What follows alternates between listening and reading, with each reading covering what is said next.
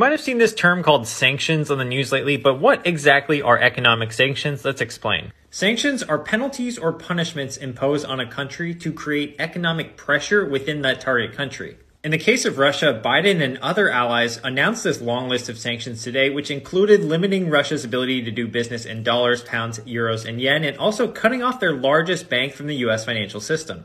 Basically, the US is saying, hey, we're not going to do business with Russia at all, and Russia is going to be severely impacted by this because of how interconnected we are in the global economy. Now, sanctions are used to disincentivize other countries' behaviors, in this case, Russia from escalating the war in Ukraine. An unfortunate cost of sanctions is that oftentimes the targeted country's citizens will suffer as a result. You can see this already impacted in the Russian ruble to United States dollar, which has lost at least 10% of its value against the dollar virtually overnight. Sanctions in general are not good for for anybody, but if they can decrease the chances of an escalated all out war, then that's the purpose that they serve.